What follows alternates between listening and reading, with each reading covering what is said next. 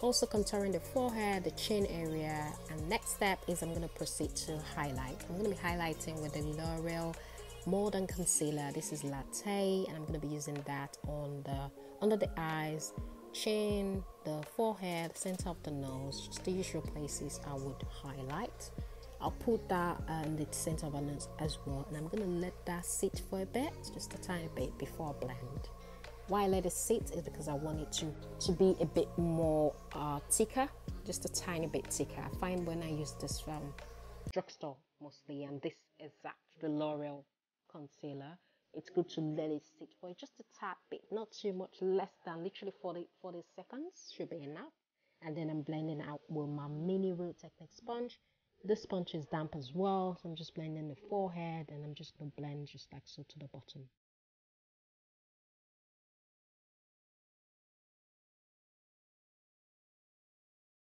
Just tapping when blending, just tapping, tapping motion, and I'm then going to spritz my setting spray just to give it, I want it to be really, uh, to stay, to be long lasting. So I'm just putting the setting spray on it as well before I blend for the blender, um, just to make it more long wearing.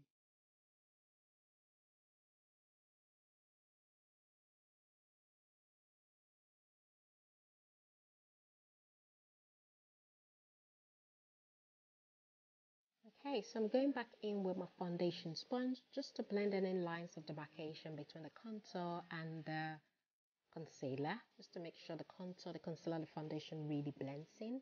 So that line between the, the highlighter and the contour, I just blend that out.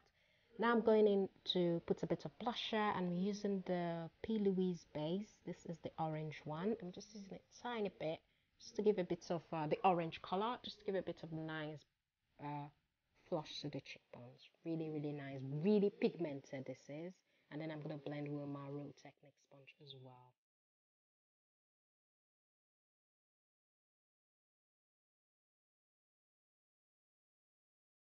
Next step is to kind of set. I'm going to blend first before I set. I'm setting with the Laura Mercier translucent setting powder in the shade translucent. Literally setting everywhere I put the concealer, the highlighters, uh, highlighted area under the eyes, nose, cupid I'm going to set the smile line, side of the nose as well, just to make sure those areas are intact. If you're enjoying this video so far, please click the like button, subscribe to my channel. Don't forget to click the notification so you're notified when I upload.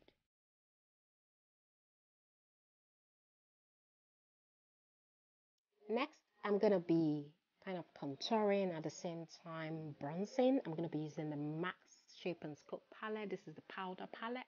To be using these two shades down there. Bone beige and I think it's scope one, taupe, taupe and bone beige. I'm going to be using those two colors down just to shade, to kind of put in structure, to contour and just kind of bronze up the face just to give it a very nice defined look.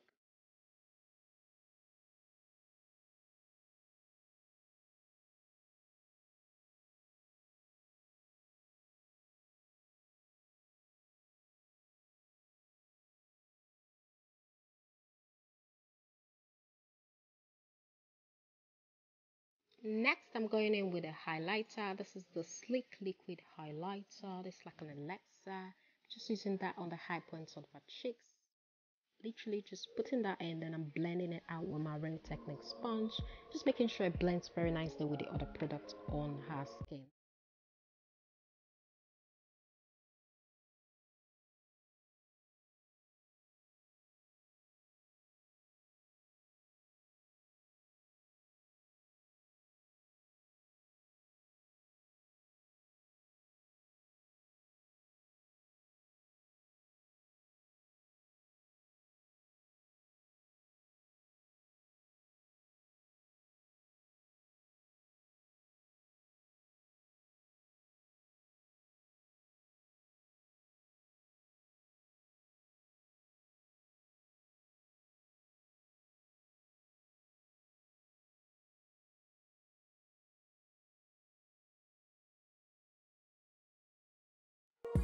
Blending in and I'm also highlighting the forehead, chin, cupid area, center of a nose there just to make sure everywhere is uh, the light hits is highlighted.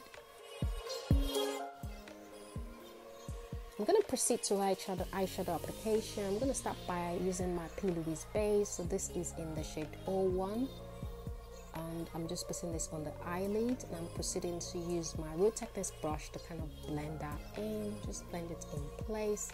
For the eyebrow, I'm using the Revolution Pro Eyebrow Gel.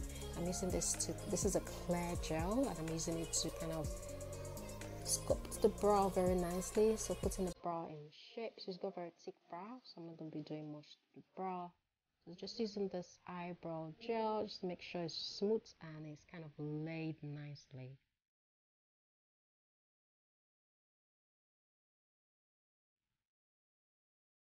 Okay, for eyeshadow, I'm going to be using my P. Louise eyeshadow palette. This is a Secret Sinner palette. I'm using those colors there. I'm starting with the first like pinky shade. This is mainly going to be my kind of my main color. I'm going to use it as my transition kind of as well. So I'm just putting this in the crease and just blending that in a nice circular motion.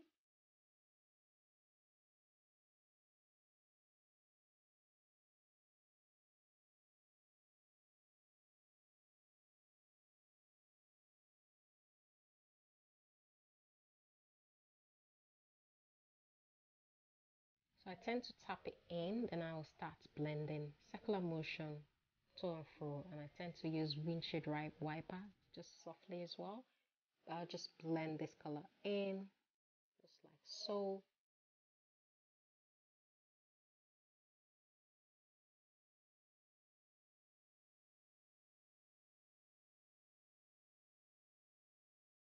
I'm just taking my time to blend, just nice circular motion. I hope you're enjoying this video. Click the like and also subscribe to my channel. Don't forget to click the notification bell as well.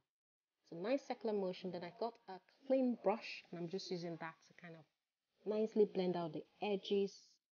Just a clean brush and I'm using the Laura Mercier powder as well, just so it's not, just to kind of set the top lid like so and also blend it in. So blend the transition colors. I'm trying to blend out the pink color so it's not very rough on the edges.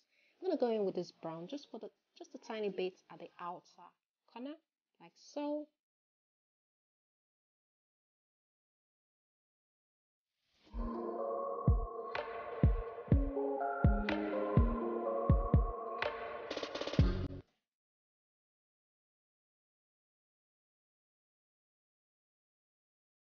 Back in with the pink color I've been using before and then I'll just further blend out.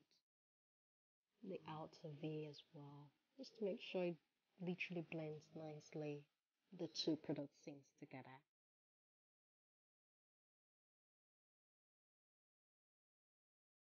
I'm going to get another clean brush and go in that color there and I'm going to use that to further blend out the crease just the top of the crease so there's no real hash lines there so that color will just literally add to diffuse it a bit. I'm going in with my MAC pigment and I'm using that on the lid. That's the pink one by MAC and I'm just using that on the lid. I'll put the link down below. So I put a bit of Vaseline on the lid just to soften it a bit. Then I took that out. Then I applied the lip liner. This is MAC Cork Lip Liner applied and now I'm using the Dose of Color Sand, the shade Sand. This is Dose of Color Liquid Lipstick in Sand I'm putting that in the middle of the lips just to make sure it's really, it's a very nice nudie pink kind of look, more nude than pink. I proceeded by using the eyeliner. This is the nude eyeliner from Primark. And then I'm using, uh, for the inner tear dots, I'm using uh, Blossom Glow Wet and Wild highlighter. And I used a bit of that on the nose, middle of the nose. Take out the powdery look from the face. I'm now using the Mario Badescu Setting Spray and now I'm using mascara on the eyelid just to make sure it's quiet. I don't want to fix lashes. Literally very natural look today. Uh, so I'm using the mascara. This is the Carbon Black mascara.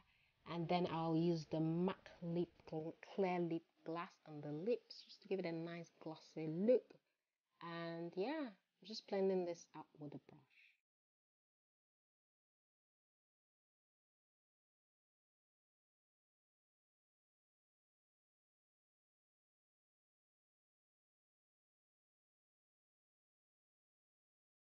Okay, so I decided to do a bit of reverse contour. So I'm just making sure the cheekbones is well, you know, structured.